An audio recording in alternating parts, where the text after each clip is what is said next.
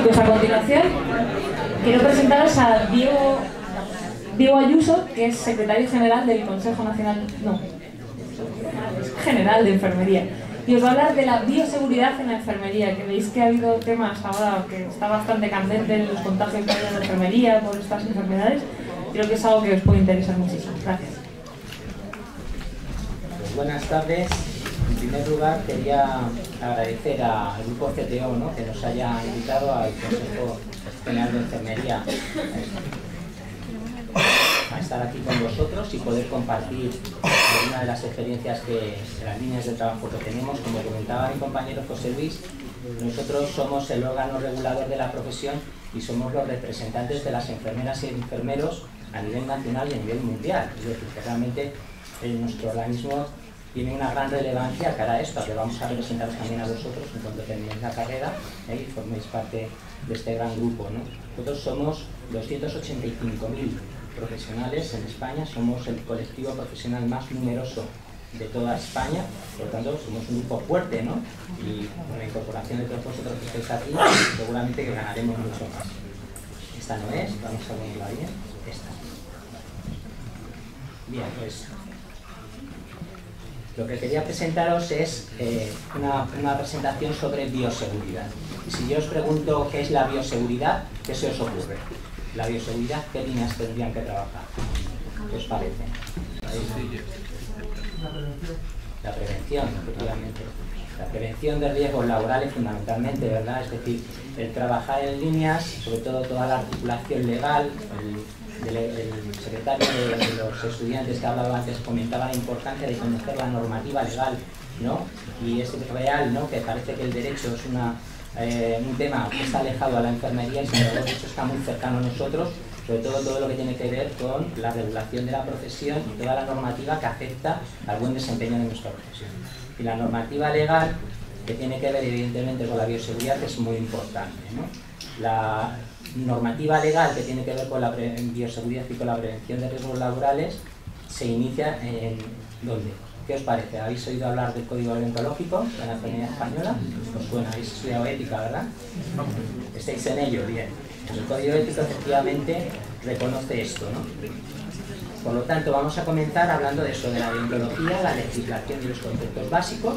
Después vamos a hablar un poco de la importancia de tener guías de bioseguridad para profesionales sanitarios, en este caso enfermeras y enfermeros, los protocolos de vigilancia de la salud, los planes de actuación ante el accidente biológico, en el momento que un profesional tiene un accidente biológico, sea una función accidental, secreciones efectivamente que pueden afectarnos, pues hay que seguir un protocolo claro para hacer efectivamente todo el seguimiento de ese profesional y evitar problemas a futuro y vamos a terminar con la protección frente a fiebres hemorrágicas víricas, que es un tema muy actualidad, desgraciadamente, ¿no?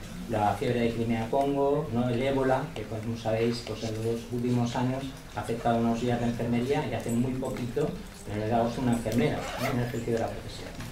Bien. Vamos a ir un poquito rápido porque vamos un poco justo de tiempo, pero solo recordar, lo importante, el, código deontológico de la profesión ya habla del tema de la bioseguridad y, por ejemplo, en el artículo 24 dice que las enfermeras y enfermeros debemos mantenernos informados y en condiciones de poder informar, por lo tanto tenemos que tener formación y dar información sobre las medidas preventivas contra los riesgos de factores ambientales. También el artículo 77 dice que debemos trabajar para asegurar y mantener unas condiciones laborales que respeten la atención al paciente y la satisfacción de los profesionales. Esto estaría desde el punto de vista de todos los gestores, yo he sido directivo de enfermería muchos años, desde la gestión, evidentemente lo que tienen que trabajar es para que esos ambientes laborales efectivamente tengan una buena calidad, tengan efectivamente los profesionales los dispositivos de seguridad necesarios, porque son nuestras herramientas de trabajo, y evidentemente con esos dispositivos de seguridad evitemos que contraigamos efectivamente pues, problemas y enfermedades ligadas a la bioseguridad. La directiva más importante relacionada con la bioseguridad es la directiva 2010-32 de la Unión Europea. Pero antes de esta directiva, que es europea y que por lo tanto es de obligado cumplimiento en todo el territorio de la Unión Europea, en España hubo una norma que fue pionera relacionada con la bioseguridad. ¿Sabéis en qué comunidad fue? ¿Y cuándo fue esa norma?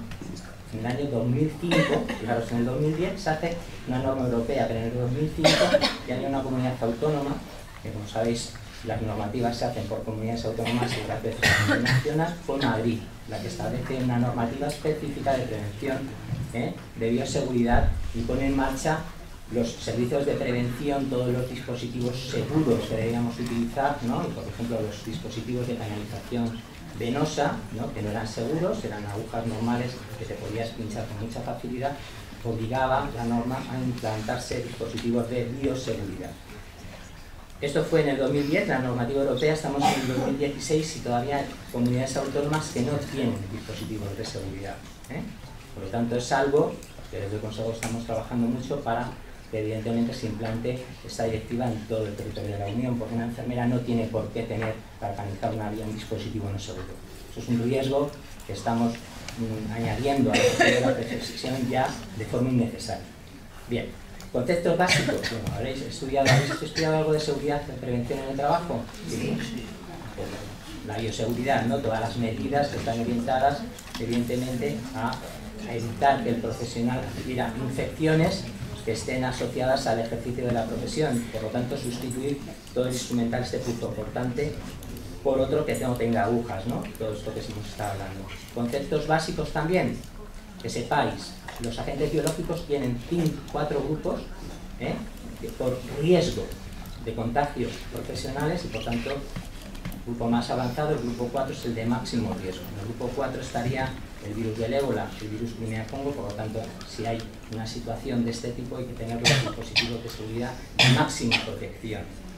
Cuando ocurrió el problema del ébola en Madrid, pues nos encontrábamos con que los profesionales no tenían dispositivos para protegerse ante este virus. ¿Eh? De hecho, pues el problema que hubo fue que efectivamente una profesional se contagió. ¿Eh? ¿Por qué? Pues, primero, porque no había formación, ¿eh? los profesionales no estaban formados para actuar en casos de este tipo de infección y no tenían los dispositivos necesarios. Por lo tanto, esas son las líneas importantes. Podéis tener ya como alumnos, es decir, exigir formación ¿eh? para protegeros como profesionales y actuar de una forma segura y contar con los dispositivos de seguridad que sean necesarios en cada caso. Y evidentemente no es lo mismo una actuación en un grupo 1, que es un agente biológico que resulta muy poco probable que nos transmita una enfermedad, a trabajar con un caso del grupo 4, ¿lo veis, no? Bien. ¿Para eso qué se, se, hace? Bueno, pues desde el Ministerio de Sanidad y a nivel nacional ya, efectivamente en el año 2015 salen guías de bioseguridad para los profesionales sanitarios. En el 2015, estamos en 2016.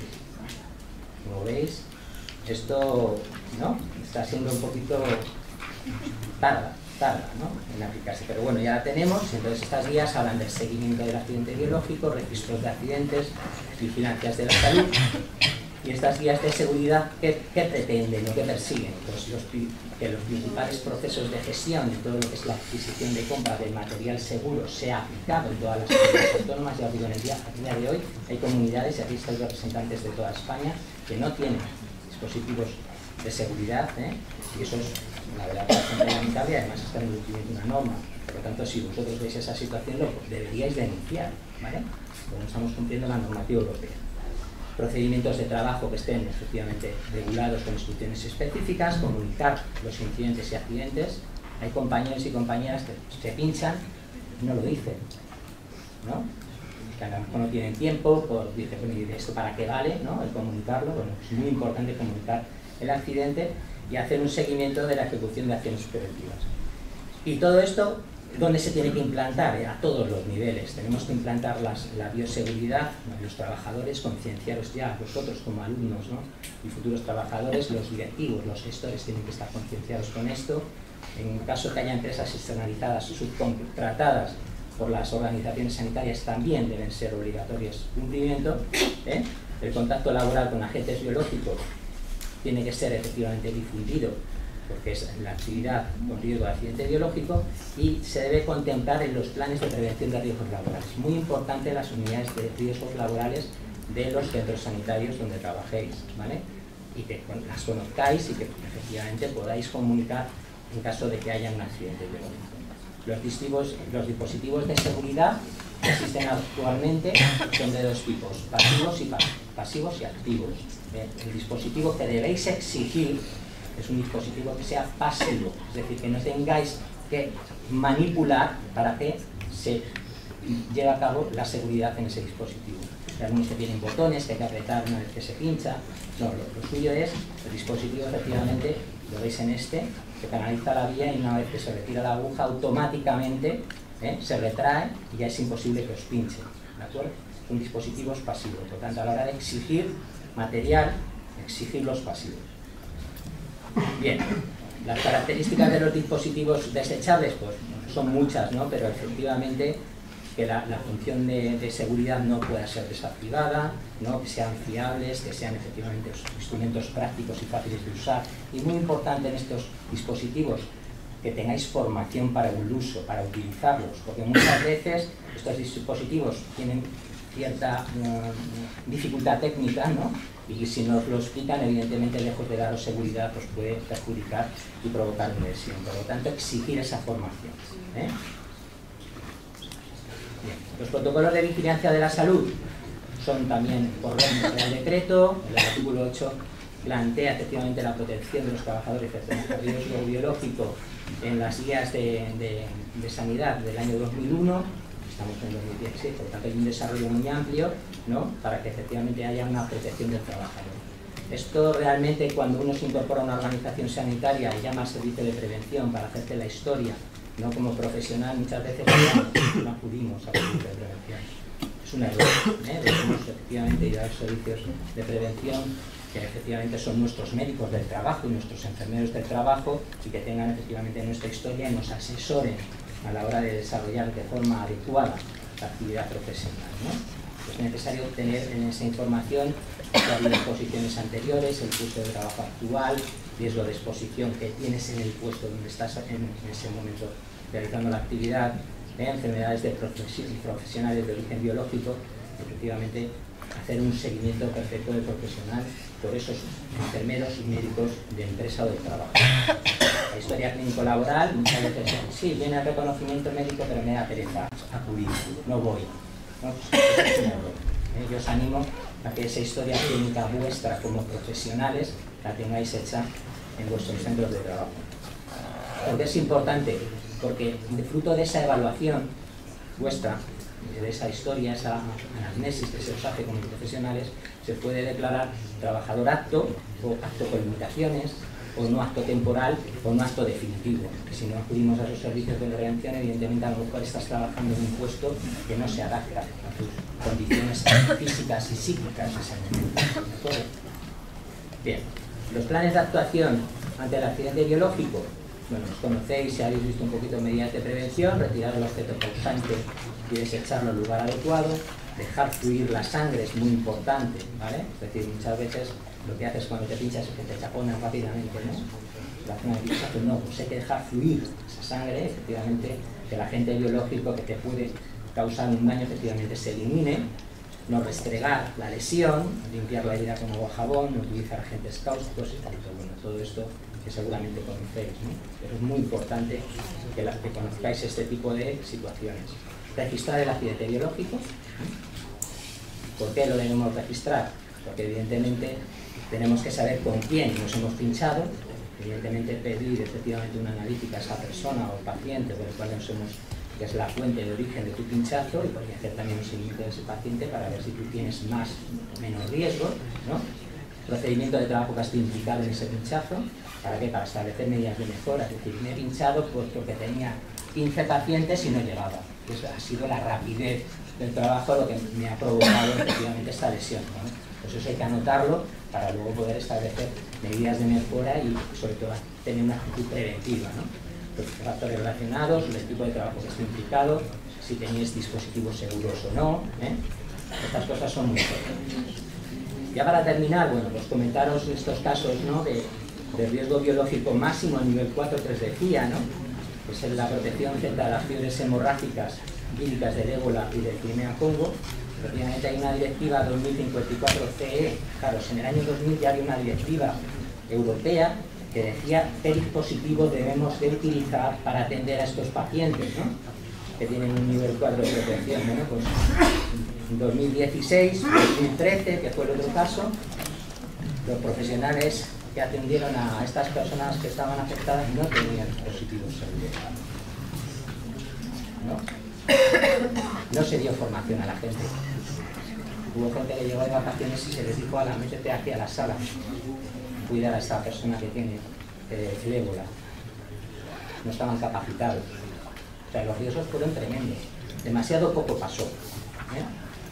Por lo tanto, debemos exigir las medidas de prevención adecuadas a cada nivel de riesgo ¿vale? y formación también adecuada. Y si no estamos capacitados para hacer una actividad, no la hagáis. En esto y en otras tantas cosas. ¿Cuáles son los síntomas de la enfermedad?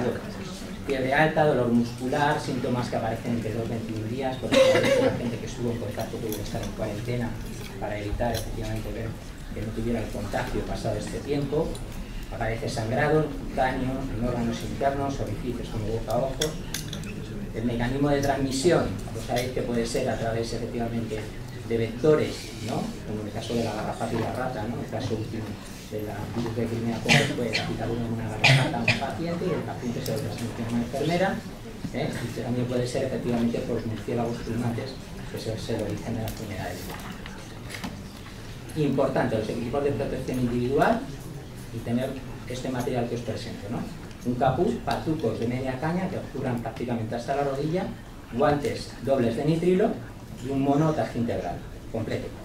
Muchas veces la gente, yo estuve en ese momento estaba trabajando en Getafe, en el Hospital de Getafe Madrid, les daban batas verdes, mascarillas de quirófano y el gorrito ese de quirófano que se pone. O sea, eso no, no protege en absoluto contra este virus.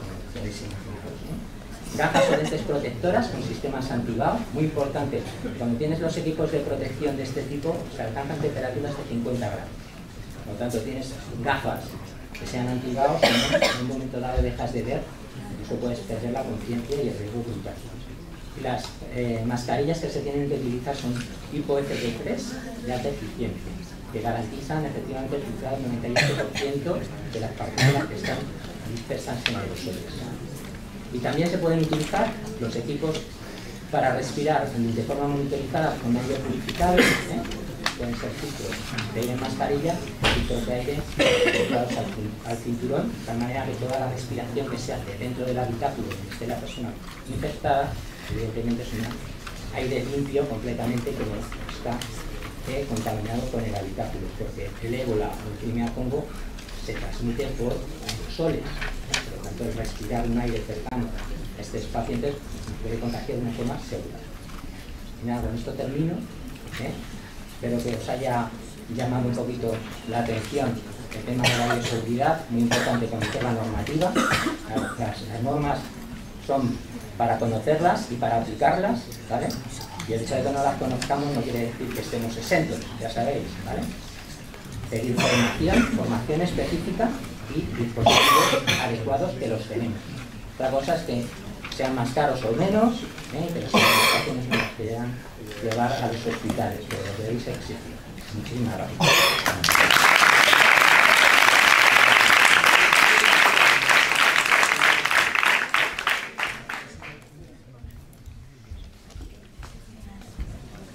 Bueno, ¿alguno tenéis una duda?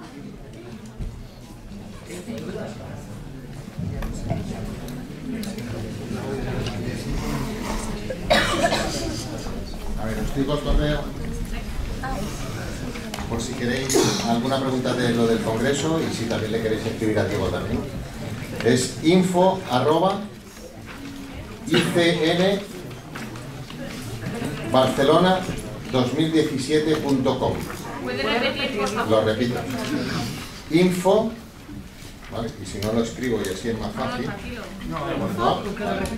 Pues no lo escribo.